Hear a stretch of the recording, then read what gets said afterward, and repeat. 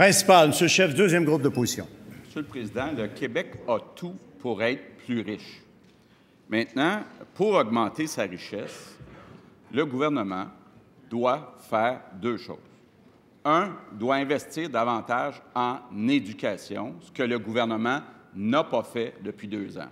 Deuxièmement, il doit augmenter de façon importante les investissements des entreprises, ce qu'il n'a pas réussi à faire depuis deux ans. Or, à mon avis, l'outil le plus important pour le gouvernement pour augmenter les investissements des entreprises, ça s'appelle Investissement Québec. Or, jeudi dernier, après deux ans de retard, le gouvernement a enfin déposé un plan stratégique pour l'investissement Québec. Savez-vous combien on prévoit d'augmentation des investissements des entreprises dans ce plan-là? On ne le sait pas. Il n'y a pas aucun objectif.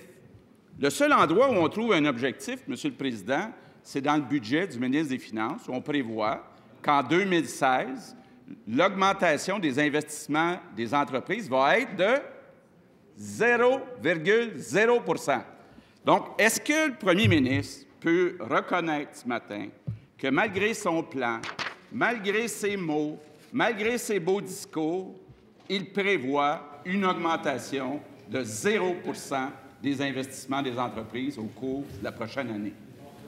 Monsieur le Premier ministre. je suis un peu surpris que mon collègue, euh, qui a bien commencé sa question, parce qu'effectivement, le Québec a tout pour réussir, mais il a des, handicaps profonds et structurels en, termes économiques. J'espère qu'on aura l'occasion d'y revenir.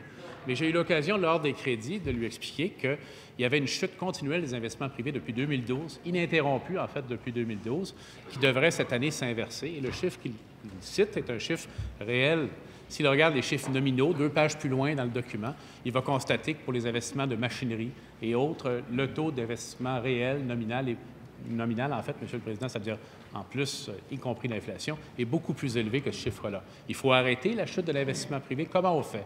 Avec une mesure comme celle qui est au budget, j'espère qu'il va la saluer. Euh, cette annonce d'un rabais d'électricité spécifique pour des investissements privés d'entreprises bénéficiant déjà du tarif industriel. Je peux lui dire qu'il y a déjà beaucoup d'entreprises qui font des contacts pour obtenir des renseignements quant à la façon de bénéficier de ce crédit pour faire des investissements importants. Alors oui, il faut relancer l'investissement privé. C'est un des deux ou trois principaux handicaps économiques du Québec. Je suis d'accord avec lui. Je crois que ce qui est dans le budget est déjà un bon début. On aura l'avantage de continuer à évaluer d'autres actions possibles, Monsieur le Président, mais ce n'est pas le seul, ce n'est pas le seul défi économique du Québec. Il y a également la question démographique, qu'il en général préfère ignorer, mais la question démographique est un enjeu fondamental qui freine notre, notre capacité à développer notre économie. Et tout ça, investissement privé et démographie, ensemble, c'est quoi? C'est la productivité, qui est également un grand retard du Québec. Et ça correspond également à la nécessité d'investir en éducation, ce que nous avons fait après avoir établi l'équilibre budgétaire, comme lui-même s'était engagé à le faire, Monsieur le Président. Première complémentaire, Monsieur le chef, deuxième groupe d'opposition. Monsieur le Président, le Premier ministre nous dit Comptez-vous chanceux qu'on prévoit une croissance de 0% Depuis que je suis là, ça baisse? Parce que c'est ça la vérité. L'année passée, les investissements des entreprises ont baissé de 4,7% Monsieur le Président, pour être comparable avec le reste de l'Amérique du Nord, il faudrait presque doubler les investissements des entreprises. Quand le premier ministre va-t-il avoir de l'ambition pour le Québec? Est-ce qu'il va augmenter? Monsieur le Premier ministre. Bien sûr, Monsieur le Président, c'est un des éléments qu'il faut corriger avec la démographie. D'ailleurs, hier, l'annonce en persévérance scolaire au Saguenay, dans le comté de notre nouvelle concert, vise précisément à augmenter la réussite scolaire et à contrer les effets de la démographie. C'est un geste social important, mais c'est également un geste économique important.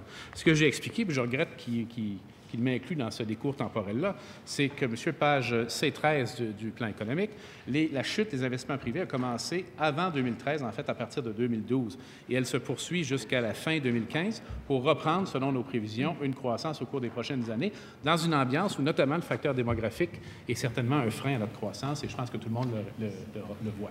Ce que notre conseil a fait en déposant son plan stratégique, c'est de donner un caractère beaucoup plus proactif et Deuxième complémentaire, Monsieur le chef du deuxième groupe d'opposition. Monsieur le Président, le premier ministre est en train de nous dire, depuis que je suis là, depuis deux ans, les investissements ont baissé des entreprises. Puis quand je ne serai plus là, dans deux ans, bien, au total, pour le mandat, les investissements auront baissé. C'est ça qui est dans son document. Donc, Monsieur le Président, Est-ce que le premier ministre peut enfin agir, hein, arrêter de faire des discours sans aucune émotion, puis s'occuper de l'économie du Québec, être ambitieux, puis augmenter les... Monsieur le Premier ministre. Ah, Monsieur le Président, moi, j'aime dans mes interventions publiques, et ça devrait être le cas de chacun d'entre nous, faire appel à l'intelligence des Québécois et des Québécoises, à leur capacité de juger les défis tels qu'ils sont, à résister à la tentation trop facile de me baser sur les titres du journal de ce matin pour présenter une solution apparemment miraculeuse. Parce que la situation du Québec, sur le plan économique, elle est difficile et on va réussir à l'inverser, on va réussir à l'améliorer en travaillant notamment sur le plan de la productivité et notamment de façon à rendre l'investissement au Québec beaucoup plus présent sur le terrain avec les entrepreneurs pour susciter des projets. Maintenant, il n'est pas sans savoir non plus, quand même, que les investissements privés sont en baisse et en chute dans tous les pays de l'OCDE, y compris dans le Canada au complet. Alors, Monsieur le Président, on est dans un phénomène économique mondial. Nos handicaps spécifiques au Québec nous freinent. On va